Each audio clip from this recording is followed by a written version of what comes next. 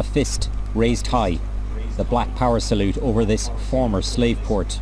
This new installation replaces the statue of slave trader Edward Colston. His ships transported 80,000 people into slavery in the Americas. It stood here for 125 years until protesters tore it down last month and threw it into the harbour. And it was on that day that activist Jen Reid climbed the plinth and inspired a local artist, Marc Quinn.